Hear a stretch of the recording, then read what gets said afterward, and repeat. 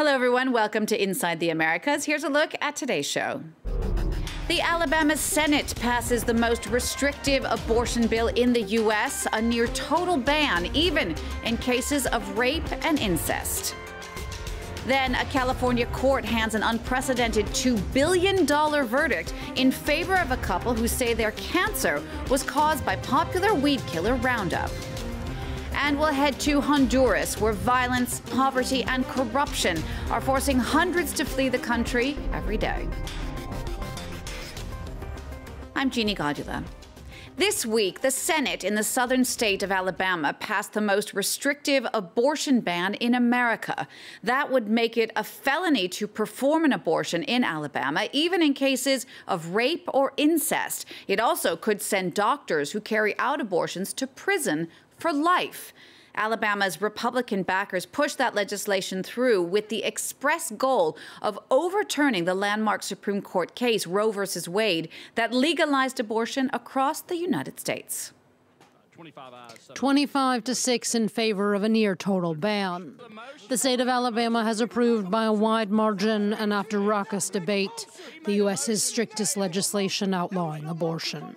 The law, which still must be signed off by the state's Republican governor, provides only one exception if a woman's life is at risk. But why you all want to control our body? The procedure would still be illegal in cases of rape or incest and punishable by law. The new legislation makes performing an abortion a felony, with doctors risking up to 99 years in prison. Protesting outside the State House, rights groups are expected to challenge the law in court. For the strict ban defies the nation's Supreme Court statute, Roe v. Wade. The Alabama law is part of a wider push by 16 states this year to restrict abortions. Already, four states have rolled out a ban if a fetal heartbeat is detected, which can happen as early as six weeks. These numerous challenges have been emboldened by anti abortion activists' hopes for a possible reversal of the 1973 ruling, now that there are new, more conservative justices on the Supreme Court. I think it's just a matter of the new Supreme Court, that the Trump Supreme Court now, they feel that Roe versus Wade would be overturned. I think these states are raising to get to the top to say that they were the first to get there. For decades, the issue of abortion has dominated American politics, with generally conservative Christian groups pushing Republicans for bans in the name of an unborn life.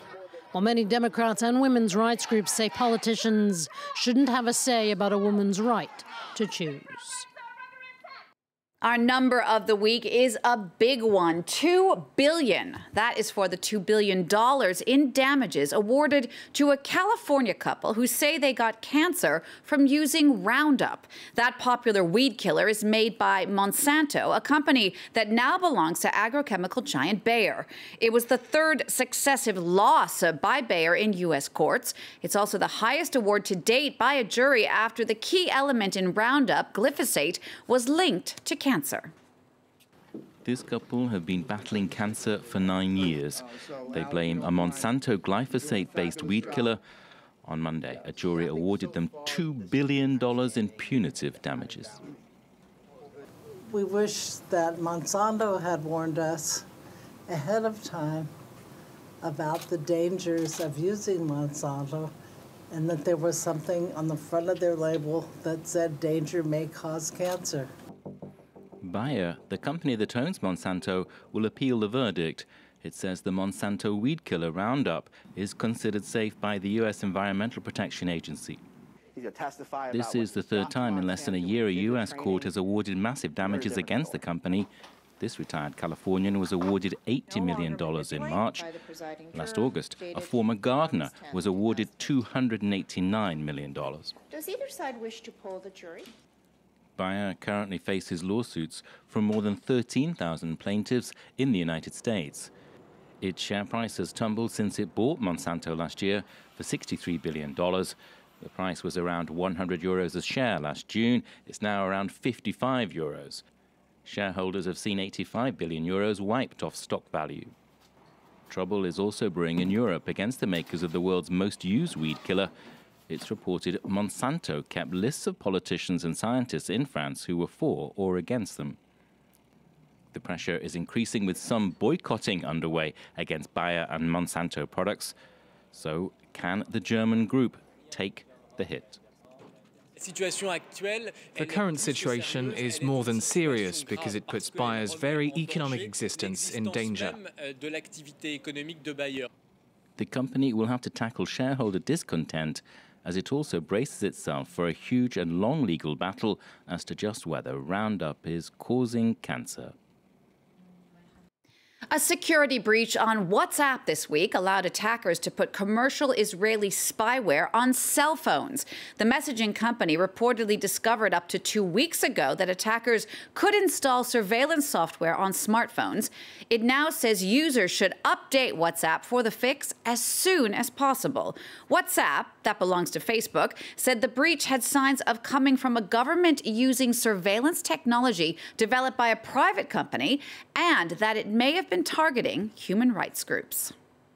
Our picture of the week now shows Central American migrants walking along a road in Mexico on their way to the United States. Many of these migrants come from Honduras. Hundreds of people are leaving that country every day, running from violence, poverty, and corruption. It's nighttime in San Pedro Sula, the second biggest city in the country. This group of policemen is patrolling a neighbourhood known for its high crime rate. Escorted by soldiers, they carry out identity checks and body searches, confiscating drugs and weapons. A way, they say, to keep criminality in check. The police go to neighborhoods dominated by gangs. They stop and search people, and they gradually retake control of those areas. That, in turn, helps to reduce crime.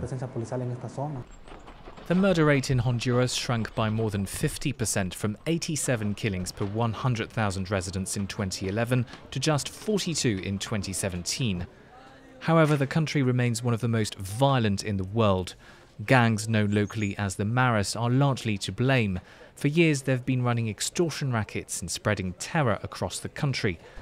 Add to that endemic corruption and widespread poverty, and it's easy to see why thousands flee the country every month.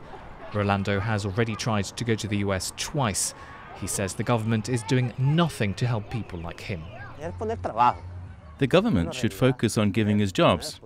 That's right. If we had jobs, we wouldn't want to leave. It looks like our president simply does not care about us. A sentiment echoed by this sociologist who says Hondurans have no other choice but to leave the country. This mass exodus, these thousands of Honduran men and women leaving the country in caravans, it sends a clear message. And the message is that Honduras is not doing well. Things are very bad here, and there's not a glimmer of hope. A 2018 World Bank report shows that Honduras is the third most unequal country in the world, behind South Africa and Haiti. Brazil's legendary indigenous chief and activist was in Paris this week for the start of his European tour. His name is Chief Raoni, and he's not only meeting heads of state, but also a series of celebrities and the Pope in his quest to highlight the growing threat to the Amazon. But before he left for the three week tour, he welcomed a television crew to the Amazon reserves where he lives, along with several other indigenous tribes. Here's their report. Deep in the Amazon forest, he's come to visit a neighboring tribe. Welcomed as a hero, Indigenous Chief Raoni blesses children and watches a traditional prosperity dance. The guest of honor, the Kayapo leader, promises to fight for the rights of all of Brazil's tribal people, including the many tribes here in the Xingu Reserve.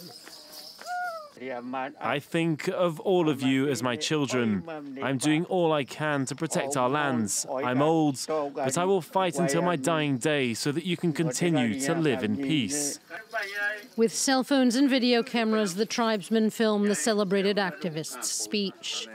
A touch of modernity in a fight to maintain age old traditions and cultures and above all, indigenous lands.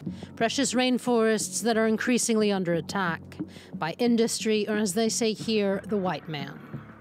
Deforestation has stepped up with the election of populist President Jair Bolsonaro. A climate change skeptic, the president has been rolling back indigenous and environmental protections. He compares us to animals. Who does he think he is? We're human beings, just like the white man. President Bolsonaro needs to understand that if they continue to destroy the Amazon, then the entire world won't have any oxygen. We will all die. Indigenous people, and everyone else too. Seeking to raise 1 million euros to safeguard tribal reserves from loggers and miners, Raoni has kicked off his ninth tour of Europe. His critics question the use of such funds. But as the chief packed his presents for European hosts, such as this feathered headdress for President Macron, time is of the essence. For the elderly activist, but also for the Earth's irreplaceable Amazon. We'll leave you now in New York, where a new museum opening at the Statue of Liberty is giving visitors another opportunity to explore its history. The museum sits on Liberty Island, not far from the statue's entrance. It's the new home for the Statue of Liberty's original torch and other artifacts, which had previously been in a smaller museum space inside the statue's pedestal that was notoriously hard to get into. The new space is open to anyone who comes to Liberty Island with admission included in the price of the ferry ticket. We'll leave you with those pictures. Thanks so much for watching this Inside the Americas. We'll see you again soon on France 24.